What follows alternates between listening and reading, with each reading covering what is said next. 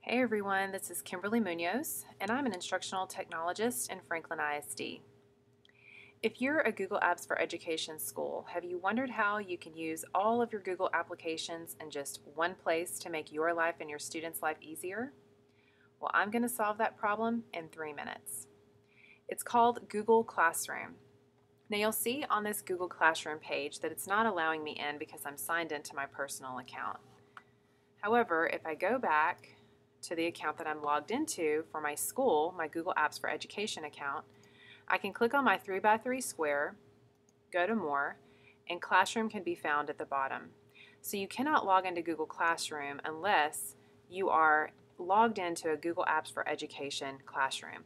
So here it's still showing me logged in, so let me sign out. and choose my Google Apps for Education account. And now it takes me directly into Classroom.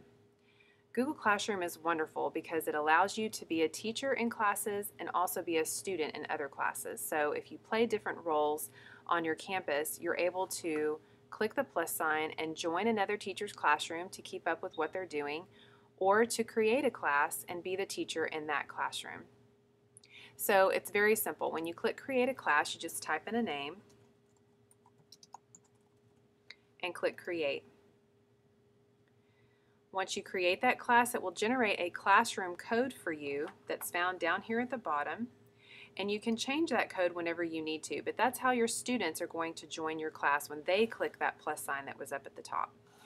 Once everyone is joined, you can disable that code or you can reset it so that a different code is created so that no one can share the code and other people get into the class that you don't want. All of your students can be found under the Student tab and you can change whether they can post or comment, whether they can only comment, or whether only the teacher can post or comment. So you can lock it down as much as you want to. And then once you have a list of students here, you can actually choose actions and you can block certain students from commenting to teach them a lesson or two if they're not behaving correctly. So back to the stream. When you click the plus sign down here at the bottom, you can create a simple announcement to your class that you can add attachments to, or you can create an assignment so that whenever you give out this assignment, all, the all of your students can turn their work back into you digitally, and then you can grade it. No other students can see the work that they turn in. You can also create a question that other students can reply to that either the whole class can see and you can have a class discussion or only you can see. And it's a way that you can also do a participation grade. Google Classroom has lots of possibilities and I hope that you'll give it a try.